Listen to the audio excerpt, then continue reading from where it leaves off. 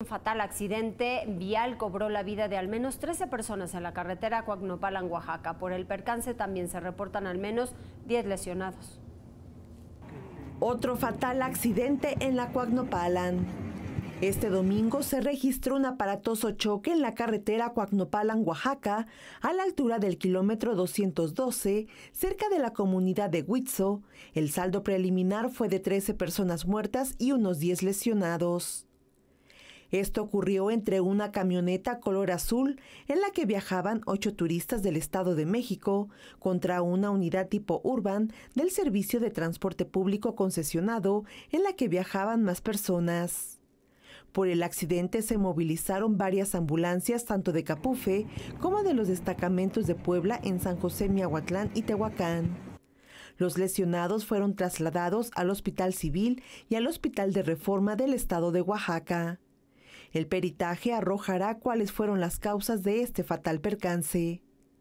Sujetos desconocidos atacaron a balazos una camioneta en la zona del Boulevard Valsequillo y Periférico Ecológico, donde dos personas resultaron lesionadas. Dos personas lesionadas fue el saldo de una balacera ocurrida la tarde del sábado en la zona del Boulevard Valsequillo y Periférico Ecológico en la ciudad de Puebla. Los hechos se registraron a la altura del puente vehicular con sentido a San Francisco Totimehuacán, donde quedó una camioneta de color negro que fue atacada por sujetos desconocidos. Los primeros reportes indican que se trató de un ataque directo contra el ocupante del vehículo, que resultó con lesiones por arma de fuego, mientras que otro más por los vidrios rotos. Tras lo ocurrido, la zona fue acordonada y resguardada por policías municipales, estatales, el ejército mexicano y la Guardia Nacional. Cabe señalar que fue desplegado un operativo para encontrar a los responsables, quienes huyeron a bordo de un vehículo color rojo, y hasta ahora se desconoce el móvil de este ataque, aunque tampoco se descarta un pleito en que se haya involucrado el alcohol. Pues una más, en Izúcar de Matamoros una intensa balacera dejó tres lesionados. Hasta el momento se desconoce el móvil del ataque. Tres personas heridas, una de ellas de gravedad, fue el saldo que dejó una balacera registrada en la localidad de San Antonio Tolentino, en el municipio de Izúcar de Matamoros. Los hechos ocurrieron en la calle 5 de Mayo, esquina con Benito Juárez, donde hombres armados atacaron a balazos a tres personas. Tras recibir el reporte, se trasladaron a la zona policías municipales y elementos de cuerpos de emergencias, quienes llevaron a los heridos al Hospital General de Izúcar de Matamoros. Hasta el momento, la autoridad no ha emitido postura acerca de la identidad de los involucrados cuál habría sido el móvil de este ataque. A la redacción de N llegó este video que muestra justamente el momento en que dos hombres se hacen de palabras en la zona de los viveros de Atlixco. La discusión sube de tono a tal grado que al encararse uno de ellos acciona un arma de fuego y apunta a la cabeza de su adversario. De manera milagrosa el hombre libró el disparo que pudo haberlo matado. Préstemela, yo le voy a jalar a la préstemela.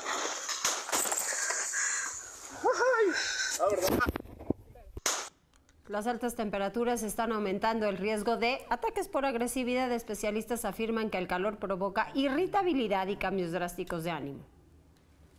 El cambio climático y las altas temperaturas registradas en los últimos días en Puebla pueden aumentar el riesgo de conflicto.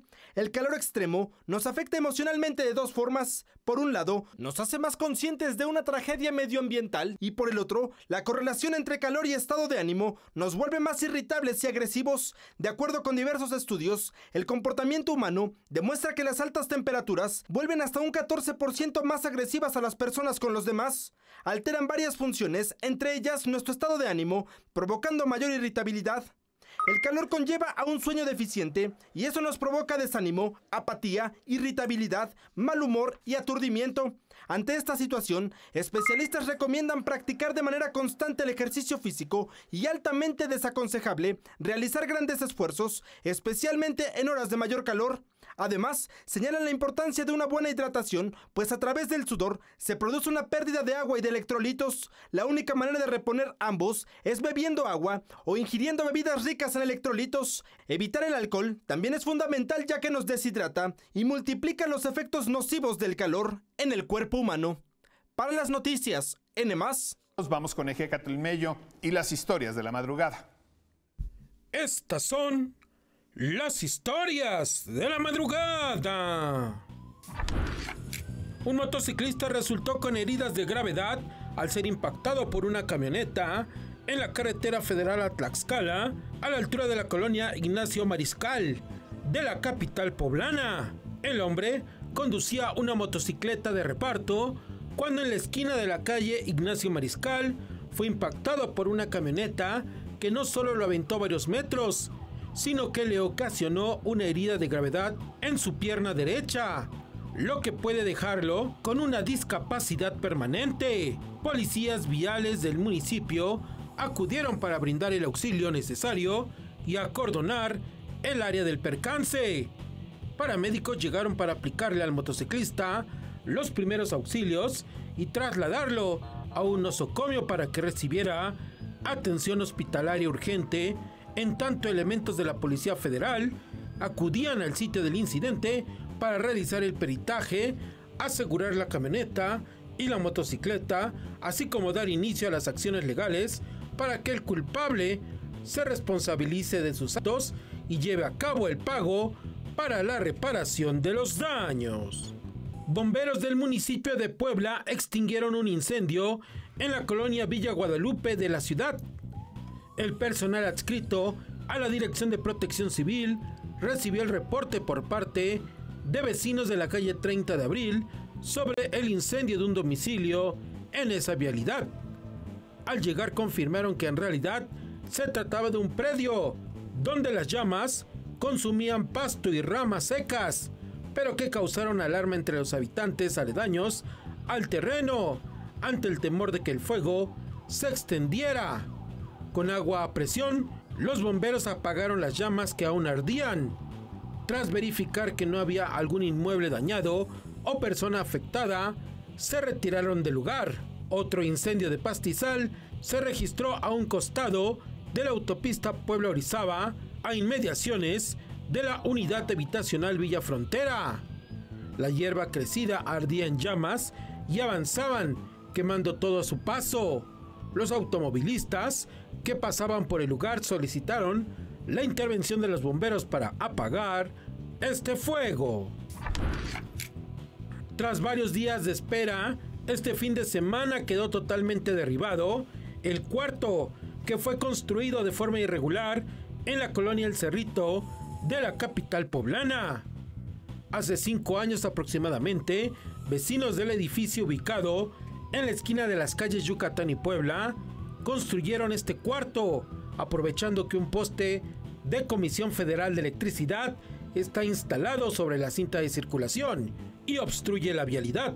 Fue personal de la Secretaría de Gestión y Desarrollo Urbano del Ayuntamiento de Puebla el que llevó a cabo las acciones de demolición. El inmueble de 16 metros cuadrados aproximadamente obstruía la banqueta y parte del carril de circulación, sin tomar en cuenta el estacionamiento de 18 metros cuadrados que ya había sido retirado anteriormente. El encargado de la construcción se hará acreedor a una multa y tendrá que cubrir el costo de los trabajos llevados a cabo para retirar este cuarto. Colectivos urbanistas y de movilidad lograron el rescate de un callejón ubicado en la colonia Aquiles Cerdán. El espacio era considerado altamente inseguro. Integrantes de colectivos urbanistas y de movilidad, así como autoridades del municipio, llevaron a cabo el rescate de un callejón ubicado en la colonia Aquiles Cerdán. Este espacio, hasta hace unos días, era considerado inseguro debido a los constantes asaltos que se registran en la zona. Desde hace varios meses, este callejón conocido como el Callejón de Cerdán era considerado uno de los más inseguros por los habitantes de este lugar. Sin embargo, el trabajo en conjunto entre la autoridad y los propios habitantes han permitido que ahora se lleve a cabo un sendero seguro. El objetivo es que quienes caminen por este lugar se sientan tranquilos, caminen con la seguridad y certeza de que no serán asaltados por la delincuencia. Los senderos seguros es una política pública o social que nace con el sentido de hacer corredores, calles, espacio público donde transitan normalmente las personas, pero al, ponerles pintura como estamos viendo, eh, realmente cambia mucho el enfoque y lo hace más amigable. También el que haya luz. El enfoque del Consejo Ciudadano de Movilidad es incentivar la participación ciudadana eh, con el gobierno y también propositiva y esto es como una manifestación de así queremos que sean las ciudades, o sea, a este enfoque se tiene que, que llevar y transitar, de hecho hemos hecho otra en la colonia Esfuerzo Nacional atrás del ecológico y igual un callejón, unas escalinatas y la gente los vecinos se involucran y realmente el antes y el después dicen muchas gracias, me siento más amigable con los juegos pasar y eso cambia totalmente pues el enfoque. Con estas acciones, los ciudadanos son los más agradecidos. Pues me parece muy bien, se veía muy mal antes. ¿Desde hace cuánto tiempo camina por este callejón? Oh, ya tiene años. ¿Cómo lo veía? Pues daba miedo pasar, de hecho. Y ahora que ya tiene color, tiene otro, otro panorama. Cambia el entorno. ¿Se siente más seguro? Sí. Finalmente, Juan Andrés Contreras, integrante de un colectivo urbanista, señaló la importancia de devolver la confianza a las personas, principalmente en colonias de mayor incidencia delictiva. En conjunto con los vecinos, con todas estas organizaciones, hemos hecho esta intervención, eh, que básicamente es toda una intervención con murales, con piso.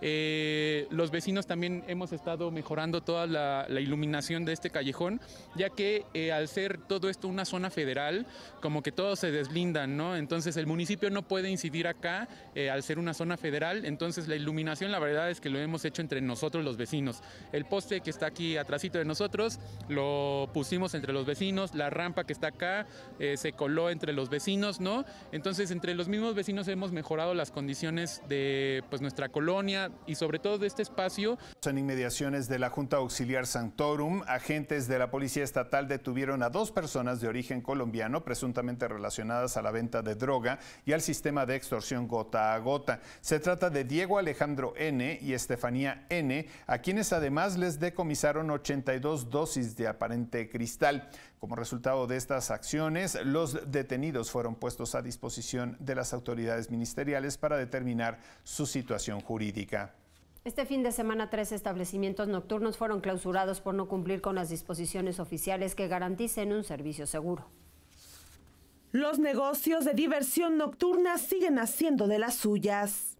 Solo este fin de semana fueron supervisados 25 establecimientos de la ciudad de Puebla, de los cuales 13 fueron clausurados, 2 sancionados, 7 se reportaron sin actividad comercial, 2 estuvieron en orden y en un caso se repusieron los sellos.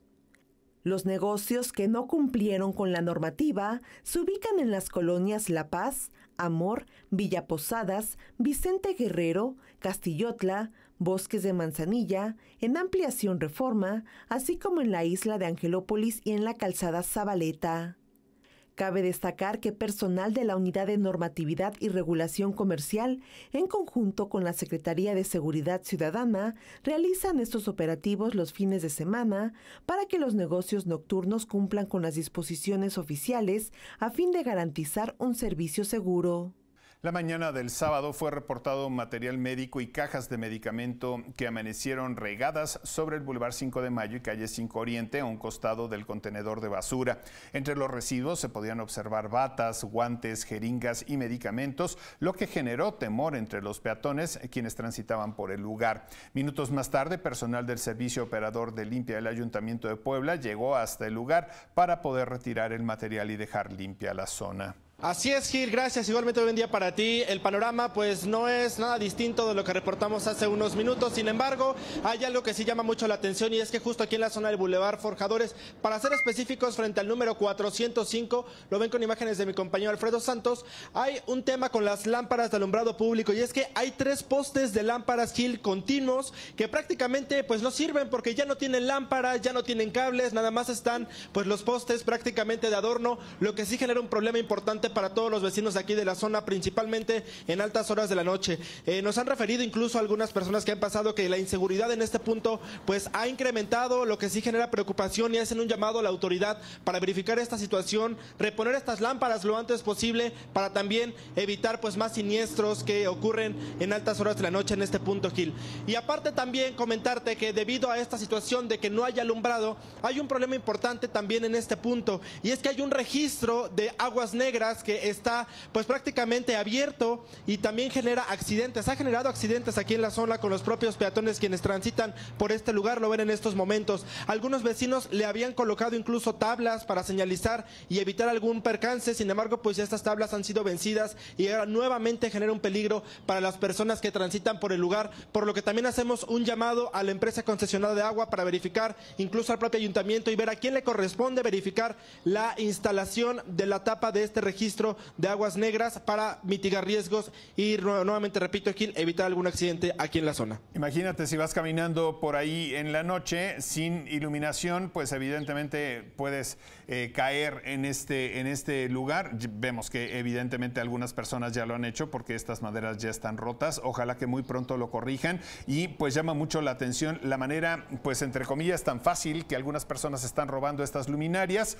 Ojalá que también cuando las coloquen también se piense en alguna forma a través de la cual se puede evitar que esto, que esto suceda. Muchas gracias, muchas gracias Franco.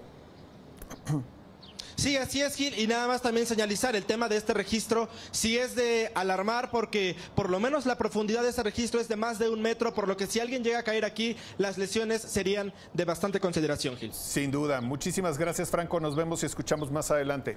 ¿Qué tal, Oli? Muy buen día. Pues esperemos que sí se usen, pero fíjate que lo que reportan automovilistas e incluso vecinos de esta zona es que primero, pues fueron mal colocados.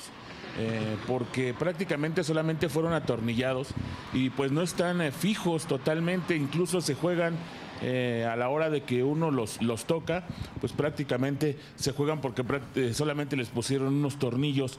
Mencionarte, Loli, que me, decían los vecinos, ¿sabes qué? Estos fierros que pusieron, pues prácticamente se los van a llevar con todo y bicicletas si llegan aquí a a estacionarlas y amarrarlos con los candados. Pero aparte los automovilistas se quejaban porque dice que son muy pequeños y la señalética está muy pequeña para que los puedan percibir, sobre todo los que vienen del Boulevard Atlixco con sentido hacia la 11 Sur y los que bajan eh, del puente elevado de Esteban de Antuñano, pues es lo que señalan, ¿no? Dicen, ¿sabes qué? Es que venimos pues eh, manejando y no se alcanzan a ver las señaléticas que fueron puestas. Entonces, bueno, pues son de las inconsistencias que están eh, señalando algunos de los vecinos y automovilistas. Esperemos que pues el ayuntamiento pueda repararlos, mejorar la calidad también del material, porque en verdad que se juegan mucho eh, pues este tipo de, fierros que pusieron. Mira, solamente le hacemos con los dedos y prácticamente tiembla. Ya, ya vi, ya vi. Oye, y este, y además pues dejaron bastante sucio el lugar, ¿no? O sea, parece ahí como harina echada. Sí, Loli, pues fue prácticamente las perforaciones que hicieron de para poner los tornillos, pero pues también decían los vecinos por lo menos le hubieran pasado pues una escoba porque hay muchísima basura, eh, sobre todo en la acera e incluso también pues eh, bloques de concreto que aquí dejaron. No fue de, de, este trabajo que hicieron, pero aquí permanecen ya desde hace varios días estos bloques de concreto. No, pues es una imagen nefasta la que hay en esa zona y es una de las vialidades más transitadas. Muchas gracias, Cristóbal. Te vamos siguiendo al próximo punto. Y en otras cosas, hoy da inicio una fiesta de folclore en Puebla. Se trata de la edición número 75 del Congreso Nacional de Danza 2023, donde participarán al menos 150 maestros de todo el país. Durante cinco días, Puebla será sede de la danza y del folclore mexicano. Y es que del 3 al 8 de abril, en el Teatro de la Ciudad se llevará a cabo la edición número 75 del Congreso Nacional de Danza 2023, en el que participarán 250 maestros de toda la República Mexicana, así como de Estados Unidos y de Puerto Rico, quienes tienen la misión de aprender los bailes y danzas tradicionales de la entidad. Es un, es un arte, es una expresión del pueblo en el caso de la danza tradicional y es una herramienta muy importante para sensibilizar sobre todo me gustaría que eh, convocáramos a la juventud, ¿no? sensibilizarlos para que ellos eh, se hagan conscientes de la riqueza cultural que tenemos en el Estado. Este congreso es impulsado por la Asociación Nacional de Maestros de Danza Popular Mexicana, cuyo presidente Juan Ernesto Jurado Zuna busca que la danza no solo sea un espectáculo y que la educación artística tampoco sea una materia de relleno, sino que promocione la identidad para conservar nuestras tradiciones. Hay maestros este, investigadores, maestros este, destacados a nivel nacional e internacional, maestros coreógrafos muy importantes con grupos, con agrupaciones eh, folclóricas eh, de gran renombre. Nuestra asociación tiene representación en toda la República y en Estados Unidos y Canadá, pero también tiene repercusión en diferentes partes del mundo. Jurado Osuna reconoció que la mayoría de los maestros danzantes trabajan con recursos propios, por lo que consideró necesario que exista un programa de apoyo al talento mexicano. El gobierno de Tlaxcala cumplió con la primera etapa de la recomendación emitida por la UNESCO para proteger el patrimonio cultural. Los trabajos de iluminación arquitectónica del conjunto conventual franciscano y catedralicio de Nuestra Señora de la Asunción forman parte de una primera etapa de la recomendación que hizo el organismo internacional tras declarar este lugar como Patrimonio Cultural de la Humanidad en el año 2021.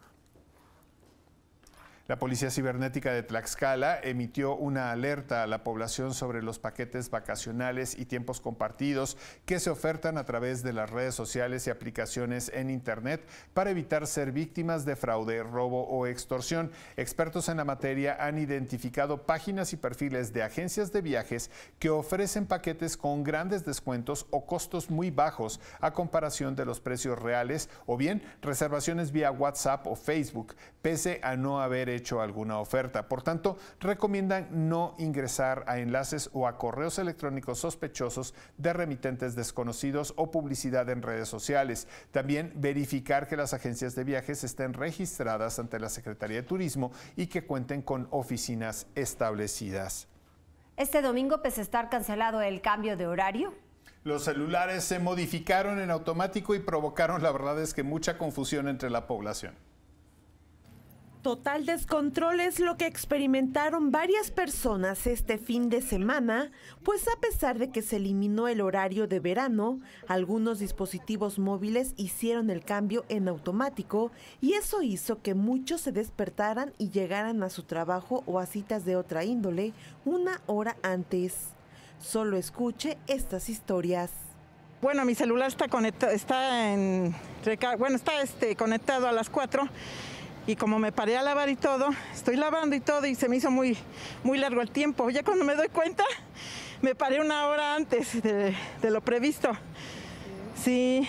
Bueno, le dio más tiempo de hacer más cosas. Sí, acabé de lavar todo y me apuré, pero de todos modos como que nos descontroló, ¿no? Pues ya se me hizo tarde para el evento que venía, la, vengo a la iglesia. Y la verdad pues no sabía que se había atrasado, no sé. sí, y pues ven y llegamos antes. Eh, pasé a tomar un café y me dice la que me atendió, dice, es que ya cambió el horario. Digo, ¿cómo va a cambiar el horario si así va a quedar normal? Ya llegó otra persona y también le comentó eso. Dice, no, pero pues, eh, es lo mismo, es lo mismo, ustedes síganle. Un familiar salía afuera hoy en la mañana y su horario marcaba a las 7 y él salía a 7 y cuarto. Y nos despertamos una hora antes. Sí, ¿Cómo se dieron cuenta? Porque dos teléfonos no cambiaron, no, se quedaron normal y los de ellos sí se adelantaron. Eh, tomamos el carro a las 6 de la mañana. Cuando nos tocaba a las 7 Cuando nos tocaba a las 7 de la mañana. Todavía seguimos algo desvelados. ¿de dónde vienen y a dónde? Bueno, ¿cómo era su día? De San Martín venimos acá, venimos a comprar algunas cosas acá y pues a pasar un rato agradable. Cabe destacar que la madrugada del domingo 2 de abril se hubiera adelantado el reloj una hora como se hacía desde hace 27 años, es decir, en 1996, cuando se modificó la ley del sistema de horario, motivada por un ahorro energético y un mejor aprovechamiento de la luz natural. Bueno, yo la verdad ya sabía yo que no iba a haber cambio de horario y pues no, no tenía yo en cuenta que el teléfono iba a hacer su función de hacer el cambio automáticamente. Y pues fue el descontrol total. Fue el 26 de octubre del 2022 cuando la Cámara de Senadores aprobó la ley de usos horarios en el país para eliminar el horario de verano a iniciativa del presidente Andrés Manuel López Obrador. Gracias Loli, justo estamos en estos momentos desde la autopista México-Puebla, pues para dar a conocer a todas las personas que van a salir de casa y que se van a dirigir en este periodo vacacional hacia la Ciudad de México, pues que Caminos y Puentes Federales ha anunciado un tramo de reparación a partir de este día y por una semana en un tramo de la autopista México-Puebla, Loli. Este corresponde a el tramo de Santa Marta a Chalco, en donde se van a estar realizando obras viales de manera ininterrumpida durante todos los días de esta semana. Importante, Loli, para todos aquellos que se van a dirigir hacia la Ciudad de México, que tomen vías alternas, pues incluso Capufe ha publicado en sus redes sociales oficiales algunas de las rutas alternas del tránsito mediante o por esta obra, Loli. Comentarte, se trata de la calzada Ignacio Zaragoza y la carretera federal Puebla-México, que serán las vías alternas, así como la autopista México-Puebla y el circuito exterior mexiquense, y uno más que será la autopista México-Puebla en la avenida Tláhuac, en el tramo correspondiente también a Chalco, y por último el puente de Tlapacoya en el tramo de la autopista México-Puebla, que serán las vialidades que estarán incorporando nuevamente a los automovilistas quienes se dirigen de la Ciudad de México, de Puebla a la Ciudad de México y de la Ciudad de México a Puebla, porque estas reparaciones serán en ambos sentidos, Loli. Por lo que pedimos a todos aquellos que van a salir pues de viaje, tomar esta eh, información muy en cuenta para también medir tiempos, salir de casa con mucho tiempo de anticipación, con calma y para que también no les sorprenda encontrar estos, eh, estas obras de mantenimiento en el tramo de la autopista México-Puebla. Loli. Ojalá que así sea. Gracias, Franco. Puebla se consolida como uno de los estados con mayor atractivo turístico en Semana Santa. Visitantes de distintas partes del país decidieron conocer la entidad en estas vacaciones. Bienvenidos. Por su riqueza cultural, gastronómica y arquitectónica, el estado de Puebla es uno de los sitios turísticos más concurridos en vacaciones y en este periodo de Semana Santa no es la excepción. Turistas de distintas partes del país decidieron conocer la entidad en estos días santos, por lo que visitaron sitios estratégicos como la calle de los dulces típicos en el centro histórico. Vengo de la Ciudad de México. Este, vengo a conocer aquí las artesanías, todo esto bonito que, que hay aquí. Sí, la comida, no hombre, me acabo de echar unas semitas que, ay papá. Muy buena, aquí se encuentran todos los dulces típicos, típicos que les gusta a ustedes. No, pues todos los que vengan a Puebla, vengan a conocer este lugar, es muy bonito. muy agradable la ciudad, muy tranquila. Yo soy de Guadalajara y no se compara, eh. allá está más estresante la vida y aquí ando uno bien, bien a gusto, bien contento, ¿verdad? Con familiares o amigos. Es así como este fin de semana los visitantes recorrieron esta calle que se caracteriza por la venta del dulce típico de Puebla y que recientemente se volvió peatonal para el disfrute de poblanos y turistas. Estamos haciendo comparaciones con otras ciudades y no, Puebla tiene el primer lugar. Muy bonito. Me da gusto estar aquí en Puebla. Nunca, siempre había pasado, pero nunca había visitado Puebla. En días pasados, Puebla recibió tres reconocimientos que lo consolidan como un estado atractivo para el turismo. Reportó para las noticias N+, Ana Celia Lara. Y fíjese, así lució la central de autobuses de Puebla durante este fin de semana. Se reportó un aumento de viajeros debido al inicio de las vacaciones. Por el inicio del periodo vacacional de Semana Santa, el fin de semana aumentó la afluencia en la central camionera Capu. La mayoría de los vacacionistas han preferido destinos de sol y playa, como es el caso de Veracruz, Acapulco o Oaxaca, al ser de los más cercanos, pero hay personas que se fueron un poco más lejos. Ciudad de Acuña. ¿Cuántos días se van? Yo voy dos semanas. ¿Las dos semanas de vacaciones? Sale, sí. ¿Es necesario ya pues eh, salir de vacaciones, el distraerse un poco más? Pues siento que sí, ¿no? Un periodo de tiempo. Ahorita vamos a Aguascalientes. ¿Van a visitar a familia? Sí. ¿Cuántos días se van? Mm, una semana. Pues sí, después de todo lo que ha pasado, yo creo que sí. Hace falta un relax. Sin embargo, quienes estudian en la entidad también viajaron para reencontrarse con sus familiares. En ese caso, la mayoría de los destinos son a municipios del interior del estado como Huauchinango, Teciutlán, incluso Tehuacán. que nosotros venimos de Toluca hacia acá. Aquí estudiamos en Puebla y ahorita vamos a otra vez para allá y pues, obviamente a trabajar porque no, vacaciones no tenemos. Ah, Somos estudiantes y al mismo tiempo trabajadoras. Estas vacaciones han generado una importante movilidad de pasajeros y a su vez reactivó la economía de esa terminal de autobuses al aumentar el servicio de taxi y el de los maleteros, entre otros. Ya estuvimos en, México en la Ciudad de México, una semana. Ahorita nos vamos a quedar una semana más en Puebla y ahí ya vamos a nuestro lugar de origen. Ah, ok, muy bien. Sí. Oiga, pues sí es importante aprovechar este periodo de vacaciones. Ah, muy bien, sí, que es muy, muy importante para un, para un momento de relajarse un poco del estrés del trabajo. Reportó para las noticias M+, Ana Celia Lara. Y si usted no piensa salir de la ciudad, aquí le tenemos una recomendación para disfrutar con toda la familia en el Centro Histórico de Puebla.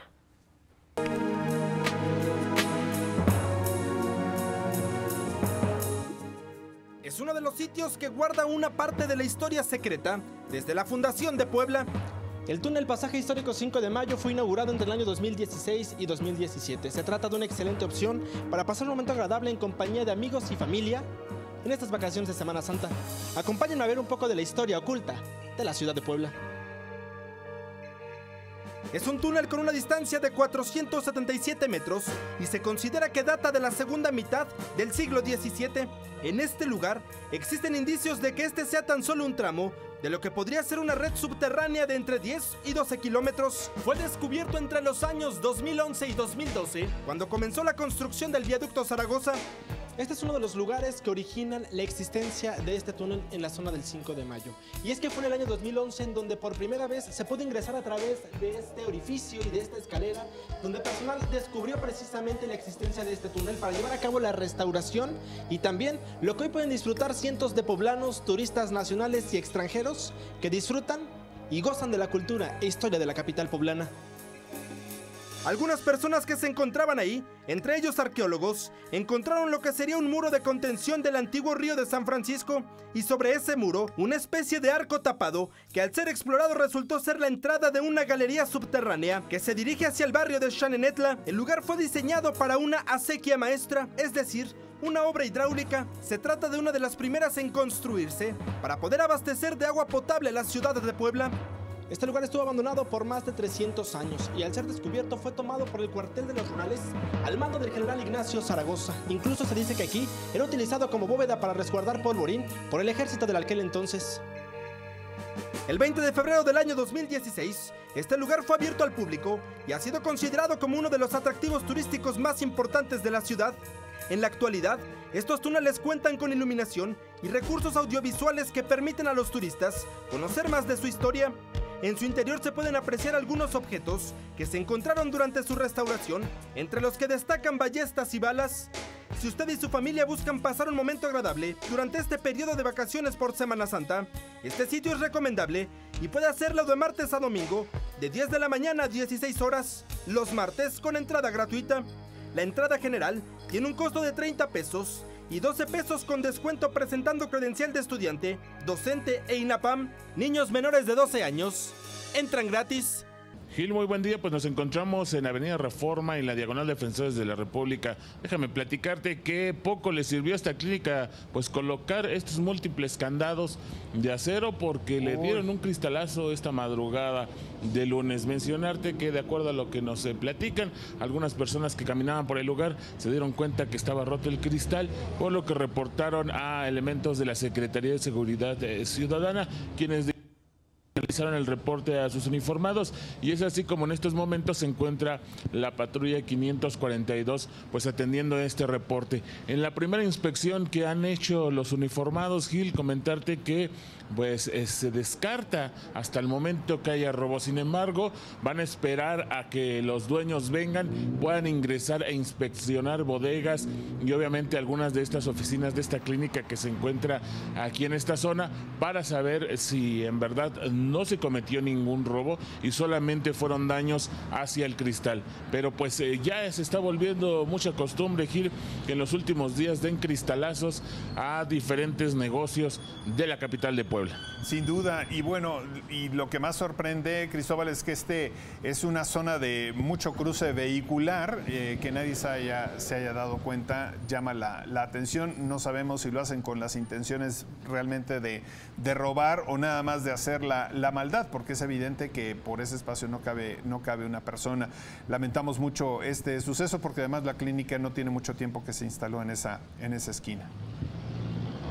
Así es, Gil, y sobre todo porque está enfrente del edificio empresarial. Así es. O sea, hay mucha movilidad, como bien lo mencionas, pero además eh, lo que nos comentaban los uniformados es que últimamente pues eh, les han reportado algunos cristalados que no son robo, son este, personas que están bajo los influjos del alcohol y solamente por hacer daños precisamente a los negocios llegan a pues a romper los cristales o a dañar los negocios. Incluso señalaban que ahí tienen ya algunos videos donde muestran cómo pasan estos sujetos, eh, avientan una piedra o dan una patada o dan un puñetazo y rompen los cristales solamente para hacer el daño. Exactamente, y pues a ver, a ver si la- el lugar tiene, tiene cámaras para poder ver qué es lo que sucedió. Muchísimas gracias, Cristóbal. Gil, estamos donde se mueve la noticia. Muy buen día. Este domingo se conmemoró el Día Mundial de Concienciación sobre el Autismo, una condición de vida cuyas causas aún se desconocen. Cada 2 de abril se conmemora el Día Mundial de la Concienciación sobre el Autismo. Esta fecha fue instaurada el 18 de diciembre del 2007 por la Asamblea General de Naciones Unidas, invitando a realizar acciones para sensibilizar y concientizar a más personas sobre las condiciones del espectro autista. Este padecimiento es una condición de vida cuyas causas se desconocen. En el estado de Puebla existen alrededor de 20.000 personas con autismo, de las cuales 9.000 se ubican en la capital poblana. Algunas características de este padecimiento son retraso en las destrezas del lenguaje, de movimiento, cognitivas o de aprendizaje, conducta hiperactiva, impulsiva o distraída, epilepsia o trastornos convulsivos, hábitos de alimentación y del sueño inusuales. Debe quedar claro que no es una enfermedad. Las personas que lo padecen tienen una manera diferente de interpretar las palabras, los colores, las formas y los sonidos del mundo que nos rodea. De acuerdo con la Organización Mundial de la Salud, uno de cada 160 niños presenta esta condición en el mundo y la incidencia se incrementa un 17% al año. En México actualmente existe solo un estudio acerca del autismo, el cual estima que uno de cada 115 niños lo padece, es decir, casi 1% de la población infantil. Ventas de productos del mar siguen al alza en mercados poblanos. Desafortunadamente los precios también aumentaron. Filetes de pescado empanizado, empapelado, cócteles de camarón, huevos en sus diferentes variedades, verduras y pollo son algunos de los alimentos que esta cuaresma están siendo adquiridos por las amas de casa. Sin embargo, los precios de los mariscos en el mercado esta temporada se incrementaron y eso ha provocado que se economicen los platillos para consumir. La señora Matilde es ama de casa y asegura que esta temporada en la que se omite comer carne, la preparación de otros platillos resulta complicada por la situación económica. Pues torresnos, eh, nopales. eh, yo creo que nada más eso. Bueno, nosotros eso preparamos. ¿Llega a sustituir platillos que lleven carne, por ejemplo? No, pescado sí, pero carne no. Y viernes, desde el jueves, jueves, viernes, sábado de la Semana Santa. Eh, pues sí salen caritos, pero pues son unos días al año nada más, unos tres días al año. Alicia también es ama de casa y en esta temporada consume platillos elaborados con productos del mar, pues asegura que deben omitir la carne, respetando las creencias religiosas. Pues a mí me gustan los mariscos. Oye, por ejemplo, en cuanto a precios, ¿cómo ve la, la situación? Pues están elevados los precios. Pues sí, hay que respetarla ahora sí que como nos enseñaron, ¿no? De esta manera es como se busca seguir con la tradición en la elaboración de platillos por los días santos. Pese a la situación económica, se busca la forma de estirar el gasto y poder adquirirlos para ser degustados en familia. El arzobispo Víctor Sánchez Espinosa inició oficialmente la Semana Santa. Esto con la procesión del Domingo de Ramos en la Catedral de Puebla.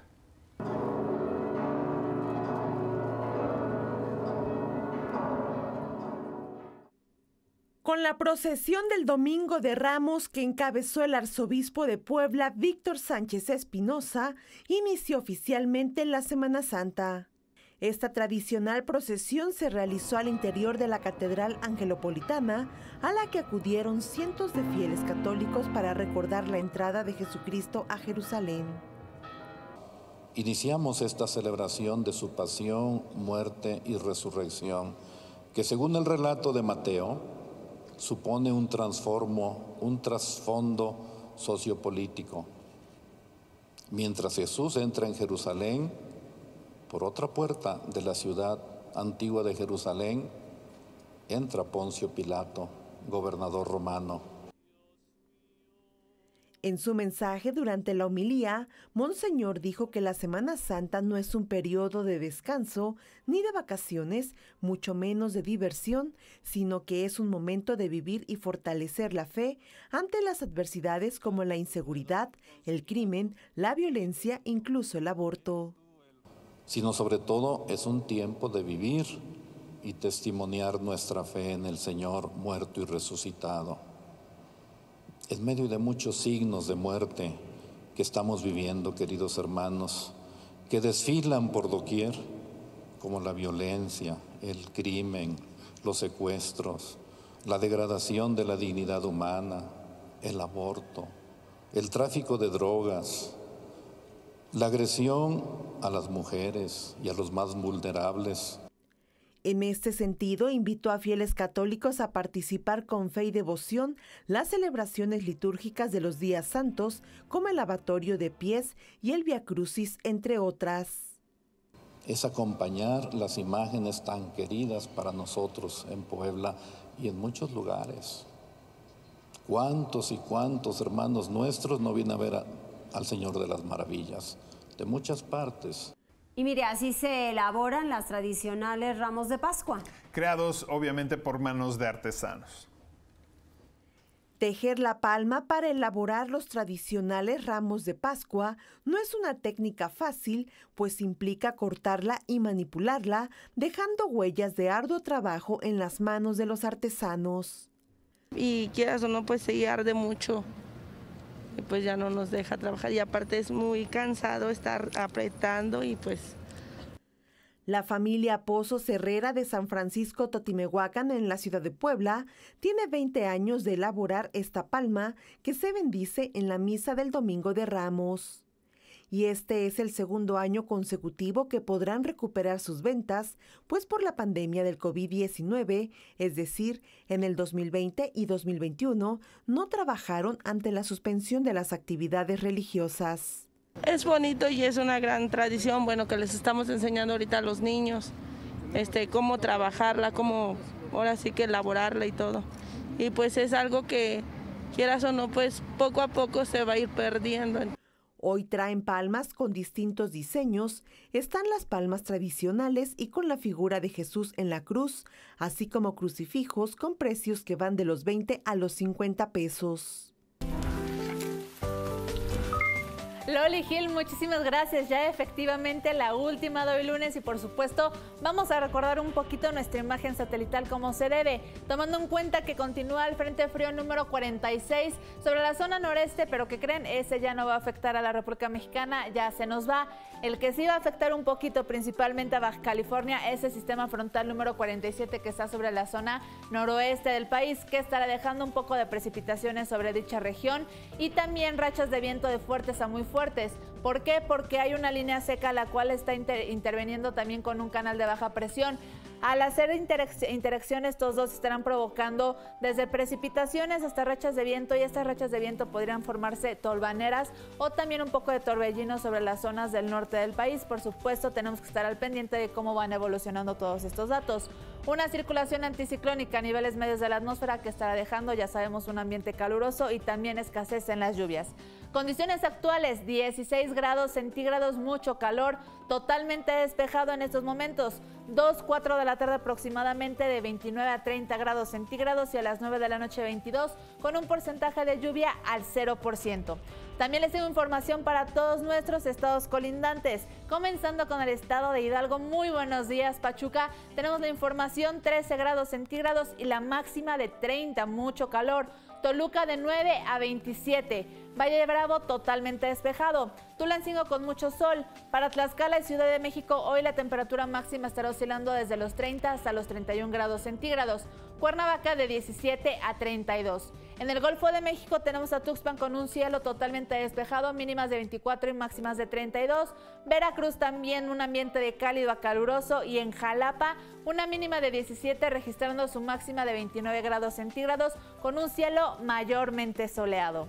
Hasta aquí toda la información en la tercera y última sección del clima de hoy lunes. Mañana martes ya saben que regresamos con todo para iniciar ese día. Nosotros continuamos con más.